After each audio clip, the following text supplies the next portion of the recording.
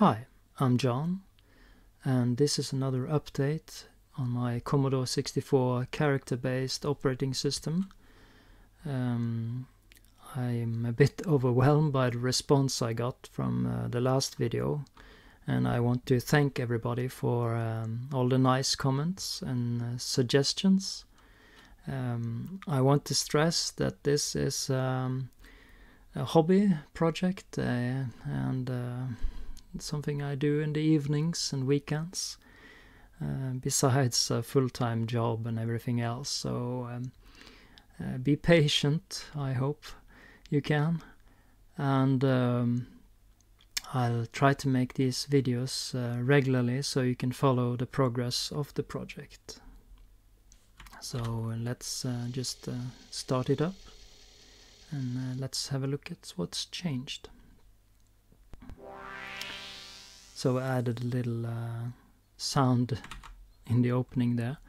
So it's possible for me to even add sound effects and stuff like that. You know, the the stuff that you likely turn off uh, after fiddling with it for one hour. but still, um, it's uh, always fun to make all these uh, things uh, part of it. So you notice a couple of changes, like the clock here is blinking, and now there is a sprite down here that responds to hover instead of the um, of the um, character-based thing. Um, so another thing, of course, that's changed is the desktop now has a color and a texture.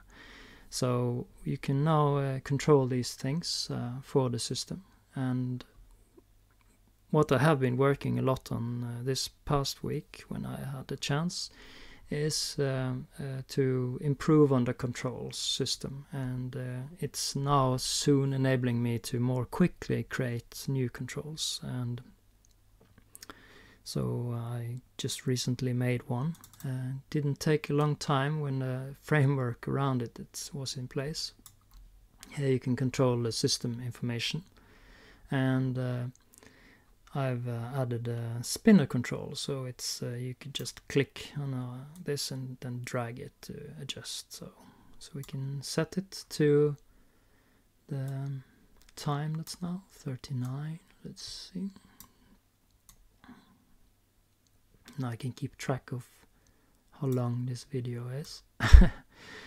I'm trying to keep them around 10 minutes so I don't bore you to death with uh, details. So these three have a color inside them and uh, the color is somewhat bugged now because if you change it you can you can modify the color of the background here now live. Uh, but it doesn't reflect until you hover and move out again. So I have a small change that I need to do there so. So you can try all the different colors. Oh. Yeah.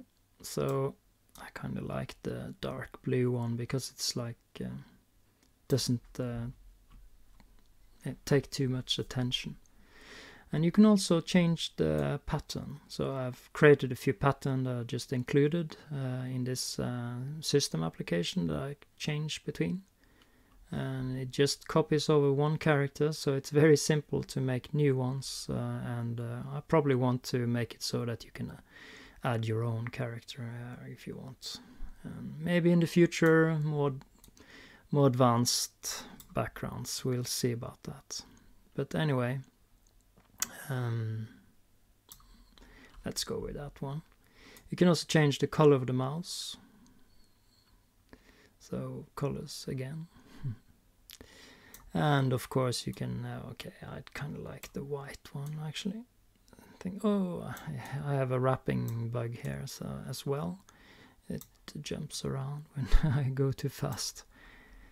And uh, you can also, I, someone in comments mentioned that he liked uh, the old mouse pointer, so here it is. You can change it back if you want. So I have the ability to have different mouse pointers, and likely also I will make it so that you can put any sprite as being your mouse pointer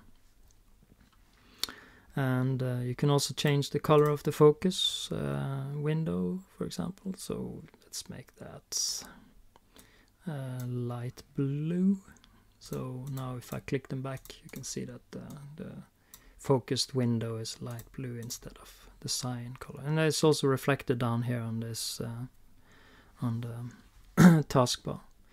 And you can also control the autofocus one, so we can make it a darker gray instead. So even goes more away like that. Well, so that's one of the things uh, I've been working on.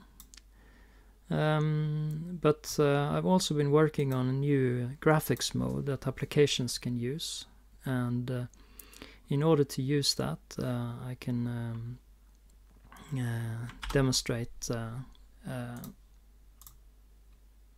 I can demonstrate um, game that I made because um, the most important thing about Windows, you know, that's to play Minesweeper, right? That's what everybody used it for. So I went ahead and coded the game Minesweeper uh, for the system. And oh, I clicked the bomb on the first one. That's a good hit, yeah. So that's the typical ones. You always click a lot around and then you try to clear as much as you can immediately. So if you look at this, you will see that each character can have a different color. Uh, normally, uh, applications like this, uh, this here has a solid color in the background. So also if I, um, the system one had uh, a light red one that I used as background. So that usually works well with a lot of applications. And um, for for example, a SID player has also a colored area here now, and this is because uh, controls can have their own color. So you can actually color or add a lot of color to your application just by making panels and uh, buttons and things, uh, labels with background colors. So that sort of simplifies the coloring of an application. But sometimes you want to have more, like um, um, this Minesweeper game, where I wanted to have different colors per character. So, so this is very simple. It uh, enables you to just uh, pass an array of uh, color indexes per character and uh, I also made it much simpler for applications to draw any character from the custom characters because when you install these characters they can end up anywhere in the character set where there is room for them so uh, now it's uh, much simpler to to use them and uh, and and draw uh, stuff like the label up here you can have the flag a custom character in front of it so um, well, so that's uh, what I've been working on uh, lately. And um, um, if you have any questions, you can uh, put them in the comments below. And uh, I'll uh, see you around uh, next week, perhaps one week from now, with some new updates. Goodbye.